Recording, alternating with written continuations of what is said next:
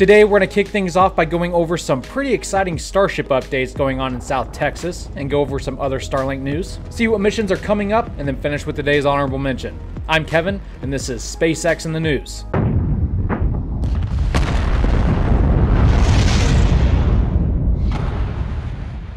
In last week's episode, we went over SN7's first cryo test to failure that ended up springing a leak. Well, it was soon after repaired and again tested a second time to failure this week, in an attempt to better understand the benefits of switching from 301 to 304 stainless steel. The patch held, but eventually the bottom dome bulkhead gave way, sending the tank several meters into the air and landing it on its side. And if you listen closely, you can hear it yell its last word.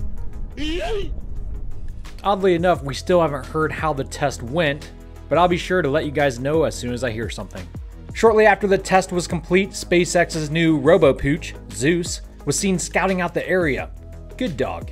And in an ironic twist of events, LabPadre also captured lightning striking nearby that day. It's unclear if it actually struck the tank, however. Bad Zeus. So this tank is kaput, but Elon did tweet the other week that a new and improved one, using this type of steel and void of any weak points, is in the works. But next up to the plate is SN5.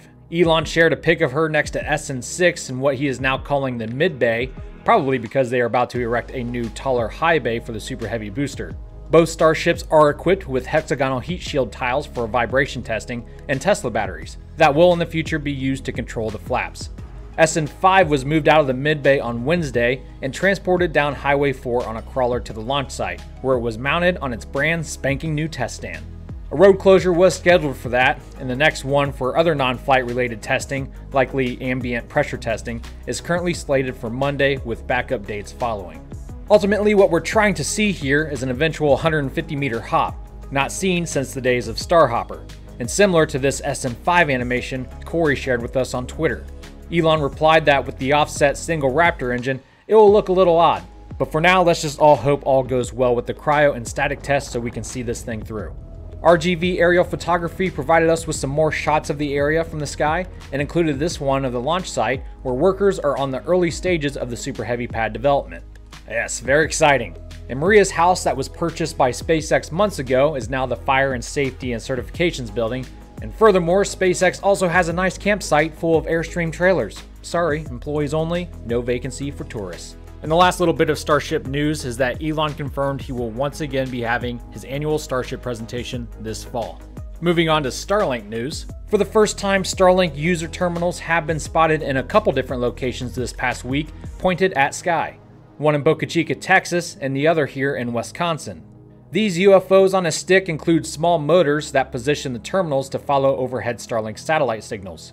I guess you could say the tech is in an alpha testing development stage, the beta probably happening soon. The official rollout happening in just a few months after a few more Starlink launches happen to put the satellite tally over 800.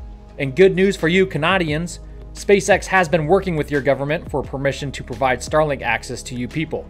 Yeah, Give us internet money. Elon tweeted that you Canadians, eh, are a major priority for Starlink and that it works best for low population density situations. This 10th batch of Starlink satellites was supposed to launch this afternoon, but just a couple hours before T minus zero, SpaceX announced they were standing down due to a need for additional time for pre launch checkouts.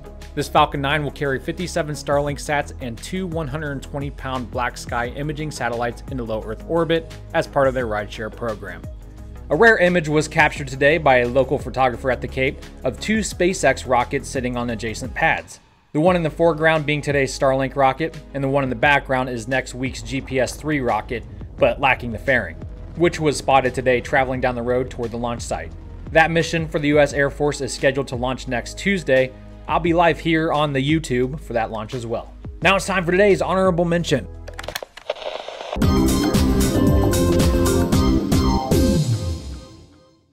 On June 23rd of this week, NASA announced that it had created the Suborbital Crew, or SubC, office within the Commercial Crew program. Their mission is to develop a process for astronauts to fly on suborbital spacecraft like Virgin Galactic's Starship 2 or Blue Origin's New Shepard, which will include qualifying such vehicles for human safety before NASA considers buying any seats.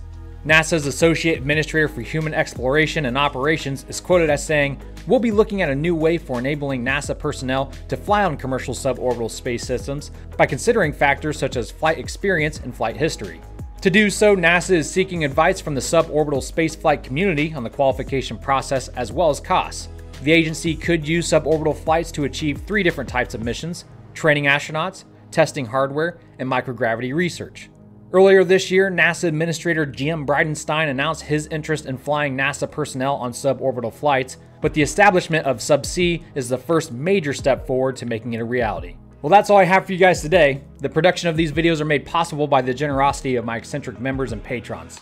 If you'd like more SpaceX news and other shenanigans in your week, you can learn how to join up using the links in the description below. And while you're down there, you can also find the information for the community's local SpaceX photographers. Don't forget to support them as well. I'll see you back here early next week for the GPS 3 mission. Until that time, have a terminal weekend and Godspeed.